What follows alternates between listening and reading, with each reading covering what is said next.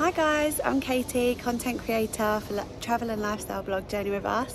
Today we're at the Meydan Hotel in Dubai and I'm about to do a tour.